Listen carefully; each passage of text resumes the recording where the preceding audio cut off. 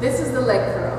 I'm going to swing my legs around, put my legs in between the two pads here, lay back, hold the handbars, and curl down. It's important that this pad is not touching my knees because if it is, it's going to restrict the motion and I can't complete the exercise. If I have a problem where my heels are, I can use this yellow tap here, move the pad up or back, depending on how tall I am. If I need to adjust the seat because the pad is on my knees, I'm going to sit here, I'm going to pull, and it's going to push me back, and I'm going to be able to complete the exercise.